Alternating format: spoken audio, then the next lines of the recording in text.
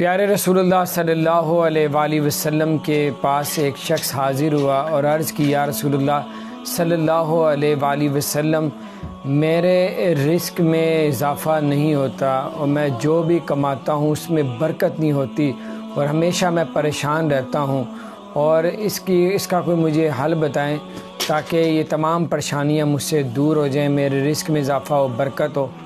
تو اللہ کے رسول صلی اللہ علیہ وآلہ وسلم نے ارشاد فرمایا کہ آپ اپنے والد سے آگے چلتے ہوں گے۔ جب آپ کے والد چلتے ہوں گے، آپ اپنے والد سے آگے آگے چلتے ہوں گے۔ اور آپ کے والد جب لیٹتے ہوں گے، تو آپ اپنے والد کے سرانے بیٹھ جاتے ہوں گے۔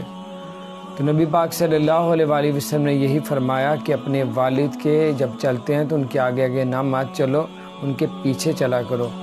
اور اگر والد صاحب لیٹتے ہیں تو ان کے سرانے سر کے پاس آ کے نہ بیٹھو، ان کی ٹانگوں کی طرف بیٹھو۔ تو جو شخص اس طرح عمل کرے گا، اللہ تعالیٰ اس کے رزق میں، دولت میں، زندگی میں برکت اور خوشیاں عطا فرمائے گا۔ اور جو شخص اس طرح نہیں کرتا، اپنے والد کے آگے آگے چلتا ہے، ان کے سرانے بیٹھتا ہے، تو اللہ تعالیٰ اسی طرح ان کے، اس کے رزق میں، اس کی خوشیاں تنگ ہو جاتی ہیں۔ جس شخص جس طرح اس شخص نے نبی پاک صلی اللہ علیہ وسلم سے عرض کی تھی۔ تو یہاں تک فرمایا ہے کہ والد جب تک بیٹھے نا، تو آپ ان سے پہلے مت بیٹھو، ان کو پہلے بٹھاؤ۔ اور جب والد آ جائیں، تو بیٹے کو چاہیے وہ والد کو دیکھ کے کھڑا ہو جائے۔ تو اب کئی لوگ یہ بھی کہتے ہیں کہ ہمارے والد صاحب تو فوت ہو گئے، ہم نے اسی طرح کی بہت سی نافرمانیاں کی ہیں۔ اور اب ہم لوگ اللہ اللہ تعالیٰ سے اور اپنے والد صاحب کو کس طرح راضی کریں، کس طرح معافی مانگیں، وہ تو دنیا سے چلیں گے۔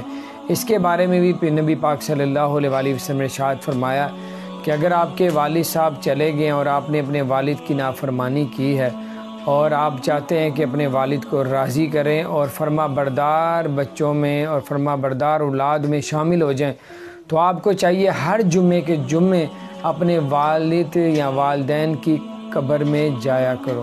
یعنی کہ والد اگر دنیا سے چلے گئے ہیں تو ہر جمعے کے جمعے اپنے والد کی قبر میں جایا کرو۔ اور جو شخص اپنے والد کی قبر میں ہر جمعے کے جمعے جائے گا، ان کے لیے دعا کرے گا۔ تو اللہ تعالیٰ ان کے بچوں کے فرما بردار بچوں میں ان کو شامل کر دے گا کہ جیسے وہ ہمیشہ ہی اپنے والد کا فرما بردار تھا۔ یعنی کہ اس کے گناہ بھی معاف کر دیے جائیں گے اور اس کو اپنے والد کا فرما بردار اولاد میں شامل کر لیا جائے گا۔ تو کتنی پیاری خوبصورت ہمارے آقا نے صلی اللہ علیہ وسلم نے اپنی امت کو باتیں بتائی ہیں، سکھائی ہیں۔ تو اللہ تعالی ہم سب کو اللہ کے رسول صلی اللہ علیہ وآلہ وسلم پہ کثرت سے دروشری بھیجنے والا بنا دے۔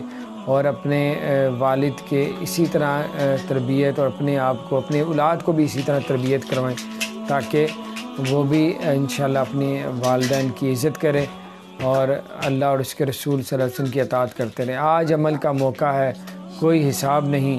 کل قیامت کا دن ہوگا، حساب ہوگا، پر عمل کرنے کا موقع نہیں ہوگا۔ السلام علیکم۔